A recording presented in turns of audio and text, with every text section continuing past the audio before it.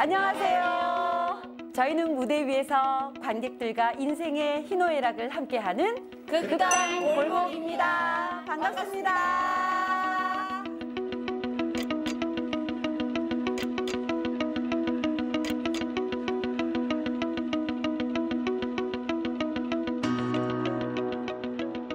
연극의 가장 큰 매력은 바로 현장성이라고 생각합니다.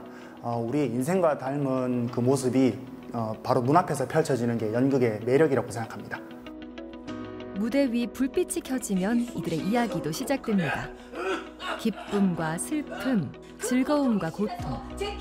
인생의 작은 축소판과도 같은 이곳에서 삶의 다채로운 표정을 나누곤 하죠. 언제 어디서나 무대에서 빛나고 싶은 이들의 뜨겁고도 찬란한 연극 인생 이야기 함께 만나보실까요?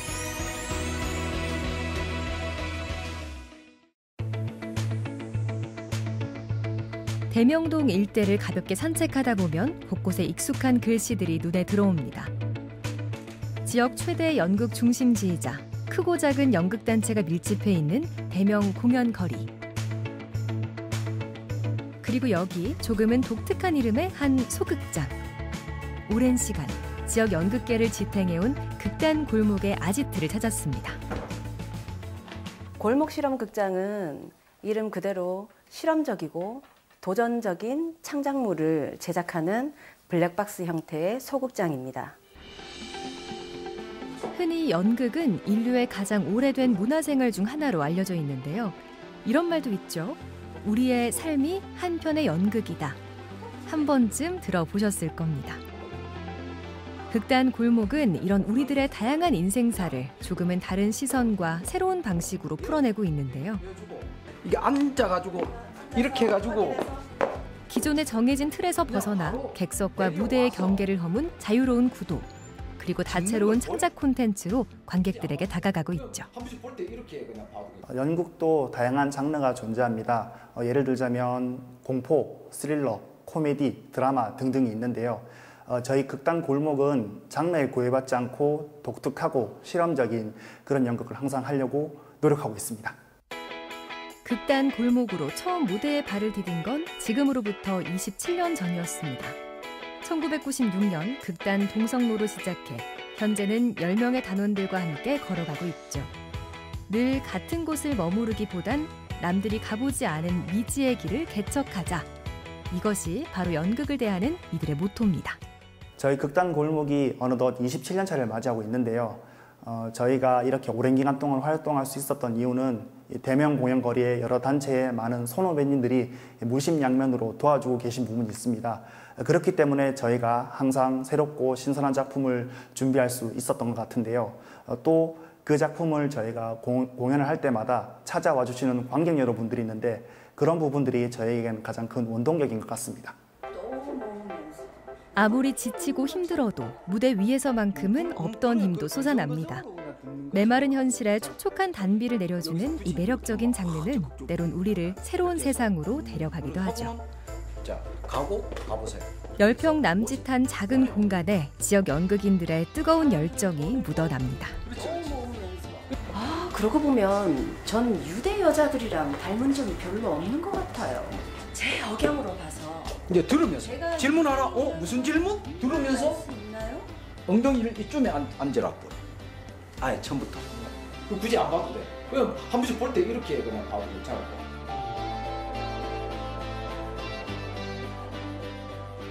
저희는 제5회 실험극 페스티벌인 골목 실험극장에서 어, 열리는 페스티벌 공연을 준비하기 위해서 골목 실험극장에 모였습니다. 올해로 5회째가 되니까 5년간 지속이 되었던 페스티벌인데 어, 늘 그 해마다 페스티벌 진행하면서 새로운 기운을 가지고 시작하고 있어서 올해도 어김없이 어떤 작품이 올라갈지 굉장히 설렙니다. 지역에서 활동하는 연극인들의 창작 정신을 발굴하는 여정. 극단 골목이 주최 주관하는 이름하여 실험극 페스티벌. 올해는 총 21팀 중 단 5팀이 선정된 가운데 보다 다양한 형태의 소재들을 무대 위에서 만날 수 있다는데요. 과연 어떤 감칠맛 나는 이야기들이 우리를 기다리고 있을까요? 올해 5회째 실험극 페스티벌을 개최하고 있는데요. 4회째까지는 저희가 소주제를 정해놓고 작품을 기획을 해왔었습니다. 또 올해는 전국 단위로 저희가 공모를 했고요. 그 젊은 창작자들이 어, 전국에서 각각의 특색과 또 다른 주제를 가지고 페스티벌에 참여하게 되어서 다양한 작품을 만나볼 수 있는 페스티벌로 구성이 되었습니다. 주제가 없음이 저희가 주제인데요. 그래서 소주제 주제도 프리덤으로 출발을 하고 있습니다. 7월 26일을 시작으로 약 한 달간 펼쳐질 대장정. 그 시작은 사실주의 문학의 거장 안톤 체호프의 단편집 진창을 원작으로 한 작품인데요. 이번 실험극 페스티벌에서 처음으로 합을 맞춰보는 두 팀의 특별 콜라보로 준비부터 많은 관심을 불렀죠. 삶은 무엇이며 우리가 서 있는 이 공간은 과연 어디일까? 관객들과 보다 심도 깊은 대화를 나누고 싶은 이들의 열망을 고스란히 녹여낸 창단 공연입니다. 안토체홉 희곡을 읽다 보면은 어, 굉장히 지루합니다. 어, 밋밋하고 어, 등장인물도 굉장히 어, 불안에 떨고 있고 권태롭고 허무한 그런 모습을 보여주고 있거든요. 그럼에도 불구하고 어, 작가는 그 등장인물들을 구원하지 않습니다. 카타르시스도 없어요. 과장도 없고. 어, 그런 측면에서 볼 때 안톤 체홉이 주는 메시지는 어, 그래도 살아라. 그럼에도 불구하고 살아라.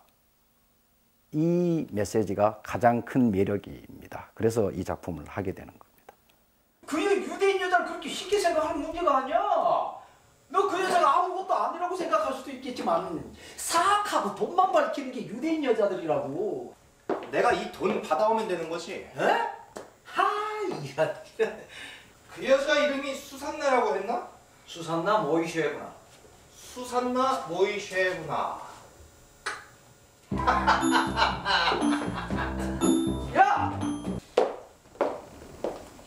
이렇게 몰상식한 사람이 다 있나 그래. 도대체 나한테 뭘 원하는 거야? 왜 날 좀 평온하게 놔두질 않는 거지? 아, 짜증나. 이상한 여자야. 청산유수로 말을 하지만 말이 너무 많고 노골적이야. 어떨 땐 저 여자의 기운이 날 압도한다는 거야. 하지만 너는 무식한 것 같아. 아니야 미친 여자 같아. 종잡을 수 없는 이 분위기. 수산나라는 역할은 참 이상한 여자예요. 그래서 그 이상한 점을 평범하지 않음, 않기 때문에 그 이상한 점에 좀 중점을 두었고요. 그리고 이제 반전미가 있고 아주 감정이 풍부한 그런 매력적인 캐릭터여서 어, 거기 이상한 여자에 중점을 맞춰서 연기를 했습니다. 아, 이걸 내가 정말 잘 해내면 정말 독보적이게, 어, 저 배우에게 저런 면이 있었구나. 굉장히 매력이 있구나. 다양한 면을 보여줄 수 있겠구나. 이런 생각이 들어서 너무너무 맡아서 좋았고, 한편으로는 부담스럽고, 잘 해내고 싶다는 생각이 아주 큽니다. 이건 아주 작고 귀여운 함이에요. 그렇죠? 하지만 이 함 속엔 제 재산의 4분의 1이 들어있어요. 상상도 못 하셨을 겁니다. 사람들은 겉보기에 번드르르한 것에는 관심을 두거든요. 보세요. 정말 근사하죠? 어, 그렇다고 제 특별한 무대 장치 없이 대사와 섬세한 감정 연기로 작품의 시작과 끝을 진득하게 이어가는데요. 어, 자, 열쇠를 어디다 뒀더라? 이번 실험극 페스티벌에서 경험할 수 있는 또 하나의 독특한 장르가 있습니다. 연극 진창의 뒤를 이어 두 번째 타자로 나서는 팀 무궁무진 무용단인데요. 눈으로 보이지 않는 내면의 또 다른 모습을 무대 위 특별한 장치를 통해 조금은 생소한 신체극으로 표현할 예정입니다. 저희 단체 같은 경우에는 지역에서 활동하는 비영리 단체인데요. 어떤 단체에 대한 신뢰나 보장, 그리고 공연에 대한 기대를 얻기가 조금 힘든 점이 있는데요.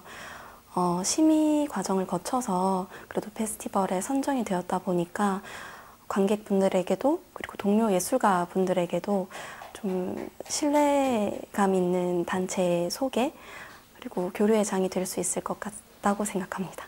작별 인사를 하려고 들었다가 인생의 갈림길에서 잠시 방황하고 있을 때 무대라는. 나침반이 해답을 알려줍니다.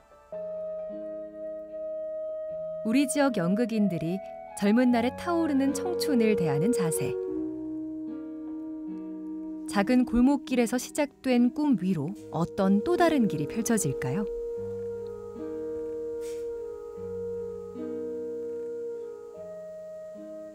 어, 실용업 페스티벌이 많은 분들의 사랑을 통해서 벌써 5회째를 맞이하게 되었습니다. 앞으로도 다양하고 실험적인 작품을 제공하고자 저희는 노력을 할 예정이고요. 또 극단 골목의 레파토리 작품을 개발해서 어, 관객 여러분들이 믿고 볼 수 있는 그런 극단으로 자리매김하고 싶습니다. 삶이 곧 무대요, 무대가 곧 삶이로다. 완벽하지 않아도 괜찮습니다. 넘어져도 다시 일어날 수 있는 희망이 있기에 오늘날의 인생이 더 찬란하게 느껴지는 것이 아닐까요? 자신만의 방식으로 매일 새로운 페이지를 써내려가는 우리 지역 아티스트. 극단 골목의 눈부신 내일을 문화요가 응원합니다.